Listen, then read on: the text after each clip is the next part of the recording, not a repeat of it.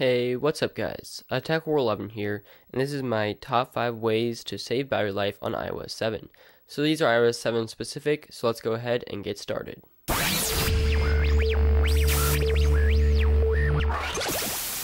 So for number one would be to disable the parallax effect, which you can go ahead and find in settings, general accessibility, and then reduce motion. So go ahead and dial and turn that on so you can see the green, and this will reduce motion and save battery life.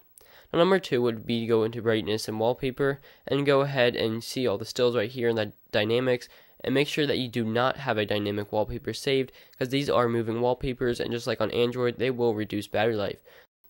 So you can go ahead and pick one of Apple's still wallpapers, or you can choose one of yours as long as it's not panoramic. Now the next feature would be to get rid of the background app refresh. Now to do this, go to settings, general, and background app refresh, and go ahead and turn it all off, or if you want to, you can just disable specific apps that you don't want to be updating the background, and this will also save a lot of battery life. For the next feature, go ahead and go to Settings, iTunes, and App Store, and go ahead and disable automatic background updates, which will save battery life as well. And the final thing I have is to go into Settings, Privacy, and Location Services, and you can turn them all off, but what I would recommend is turning off individual apps, which should work better.